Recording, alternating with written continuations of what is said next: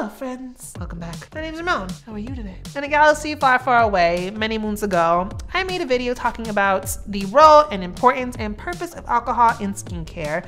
And you can go watch the video. I'm not about to delete it, but it's ugly. It's an old video with the old backdrop. I didn't like the setting of it, so I just want to redo it again, especially the fact that I am now in my cosmetic sciences program. And granted, my perspective has not changed at all. If anything, my opinion and point of view is further reinforced from being in my program and actually being able to understand a lot more of the behind the scenes reason of alcohol and formulation. But I just wanted to redo the video a little bit more cute, a little bit more formalized. Before we get into it, I'm gonna ask that you hit the subscribe button and notification bell so that you know when I post more skincare, sunscreen, fancy related content on my channel give the video a thumbs up and down below. What other problematic ingredients are in skincare that you hear people demonize all the time but that you think or know have a very specific function in formulations? Sound off in the comments, please. I'm not a doctor, I'm not an esthetician, but I am a cosmetic formulation student in my cosmetic sciences program. And everything I'm talking about, everything I'm gonna say is from the perspective of science, especially in the perspective of not only how things work on the chemical level, but also on the biological cellular level. Looking back at the first video, what actually inspired me wanting to create that video is Skincare by Hyram, a creator whose content I watch all the time and I've watched for a very long time and whose opinion and perspective I really do respect. I love things that he's done for the skincare world. But he was talking about one of my Holy Grail sunscreens, the Biore Aqua Rich Watery Essence,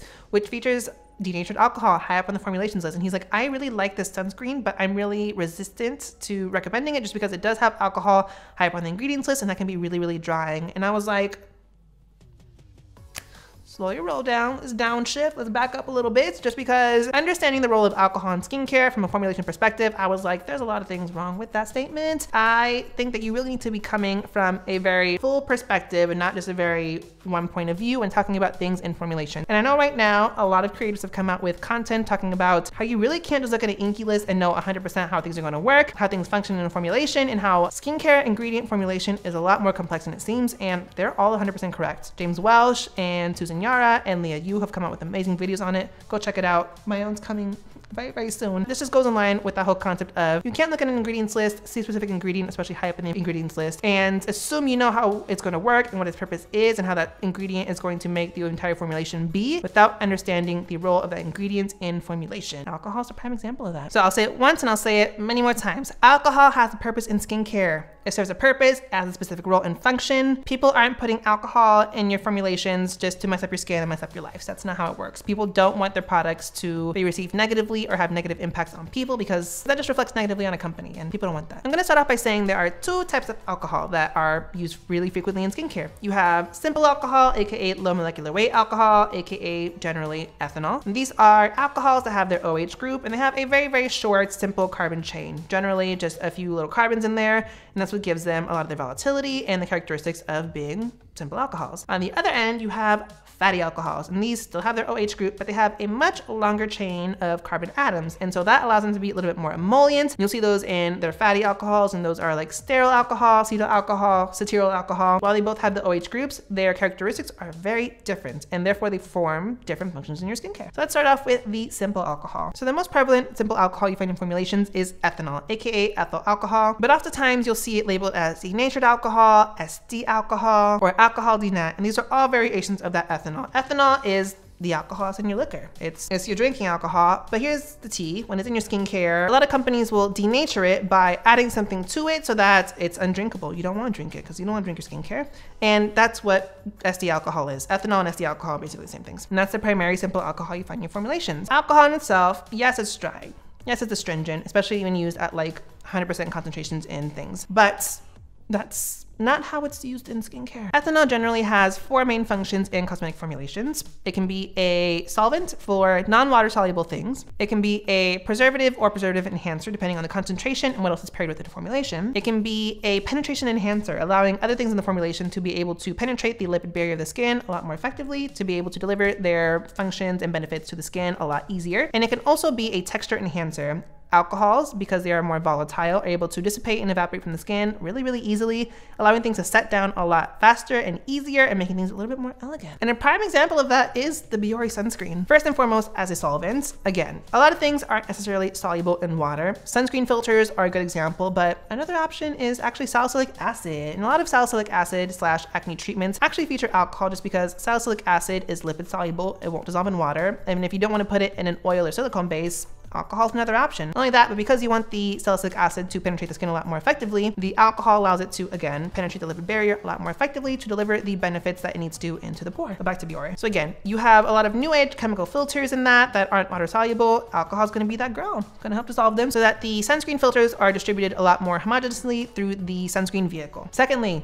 preservative slash preservative enhancer. Depending on the percentage of alcohol in your formulation, Oftentimes in itself, it can act as a preservative. It's antibacterial, it's antimicrobial, it prevents microbial growth in your cosmetic products. But oftentimes you have other preservative systems in your products which can function at a lot lower percentages and therefore they do a lot more of the work in preventing, again, microbial growth in your products. But alcohol just comes in to just give a little support. And that's one thing that I found really interesting in my formulation classes is that it's not just the preservatives that do the preserving work in products. While they do hold the main brunt of the work, a lot of different ingredients offer secondary benefits to help aid and fortify the preservative system in your products. So alcohol does that as well. As alcohol, it does what it needs to do with killing bacteria and whatnot. And as a result of that, it helps to give the preservatives that are in your formulation just a little helping hand. Third thing, penetration enhancer. Oftentimes, because again, alcohol does have the possibility to be drying, you will oftentimes see alcohol paired with a lot of other things in the formulation. With the Biore sunscreen, you have, again, the UV filters.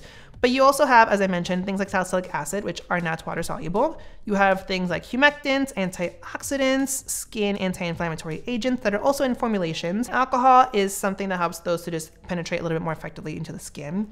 When you see alcohol in a formulation, often consider what else is in that formulation with it. Oftentimes, those things are going to counteract, if not be aided in their benefits in the skin because the alcohol is there just to help them do the work a little bit easier. In the Biore sunscreen, for example, that sunscreen is chock full of skin nourishing humectant ingredients and the alcohol is just helping them do their work a little bit better. And so the texture of it is really, really nice. It's moisturizing, it's plush. And because the alcohol is there, it helps those humectants to do their jobs a lot better and more effectively in the skin. And lastly, texture enhancer. Looking at that Biore sunscreen, the reason that it's one of my top Holy Grail sunscreens is because it sets quickly, sits lightweight on the skin, and it's very elegant for oily skin types. That's due in large part to the alcohol. Because it evaporates so quickly from the skin, everything in that sunscreen is able to massage into your skin, set down really quickly, and sit down very nice and lightweight on the skin, so you're left with a nice glowy finish and no white cast within a matter of minutes. Another place you might find alcohols is in cleansers, and that's just because alcohol is really good at breaking down oils, lipids, and waxes. So again, when you're looking at denatured alcohol in a formulation, often consider what else is in that formulation just because it's oftentimes counteracting any negative impacts you might get from the alcohol, but the alcohol might be helping those things do their work a lot more effectively. Also, the function of alcohol in formulations is very complex. If the product is saying that it's good for your skin and gives you specific benefits, it's doing so and the alcohol is nothing to worry about. Now let's talk about fatty alcohols. And those fatty alcohols were actually something that are a very new discovery to me. I only really learned about them this last year. They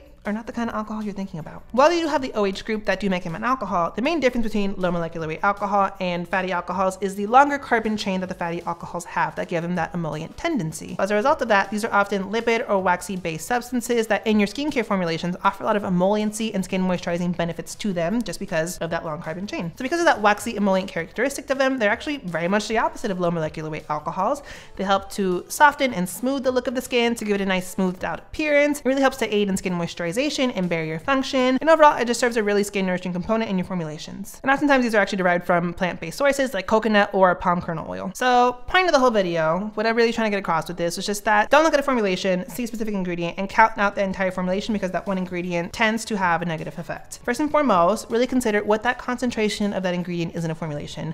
With pretty much anything, if you put 100% concentration of that on the skin, you'll have a negative impact and realize nothing is really in the skincare formulation at 100% most of the time. When it's something like alcohol, it has a lot of different roles and functions in a formulation, and you really have to understand based off what is in that formulation, what the different variables of the formulation are, like its pH, as well as what is oftentimes paired within a formulation, how it's going to work in that specific product, and therefore on your skin. As I mentioned, low molecular weight alcohol at 100% on the skin can be very drying because alcohols can break down lipids, waxes, and oils on the skin, and thus compromise your skin barrier. But at the lower concentrations that it is in formulation, as well as what else is paired within a formulation, often Sometimes it's a texture enhancer, can help to boost the preservation of a product, help to give you really nice elegant texture, and act as a solvent for non-water soluble things in a formulation. So overall very complex ingredient.